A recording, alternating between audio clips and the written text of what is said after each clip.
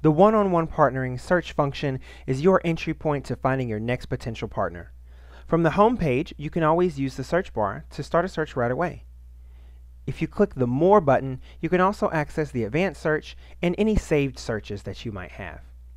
Now let's go into the full search function. The search is organized with five tabs, Companies, Delegates, Assets, Market Products, and Services. Most people use the Companies and Assets tabs most frequently when looking for partners.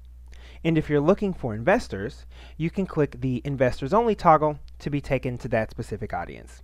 Let's do an example search. Let's say that I'm looking for oncology companies. By default, results will display by relevancy. To sort alphabetically or by modification date, click the double arrow icon. To clear your search and start a new one, click Clear.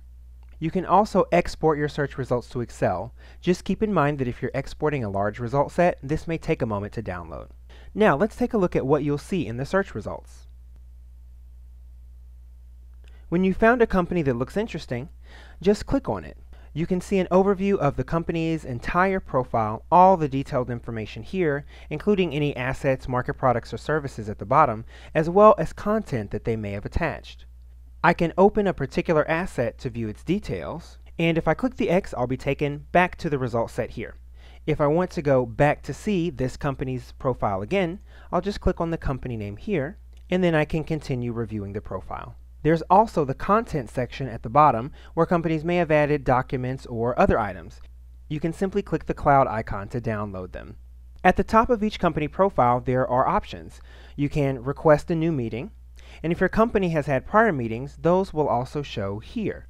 That's a great meeting history feature within Bio One-on-One Partnering.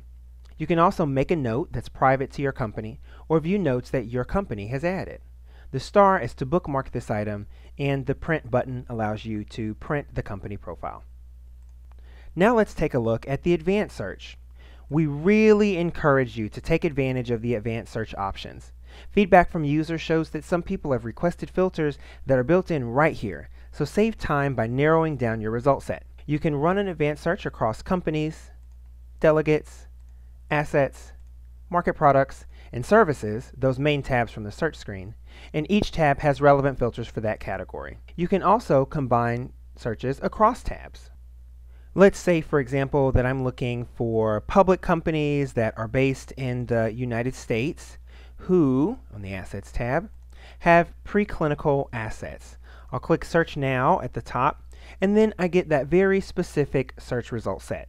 Each of the individual filters appears under the search bar, so you can easily remove them or start a new search by clicking Clear.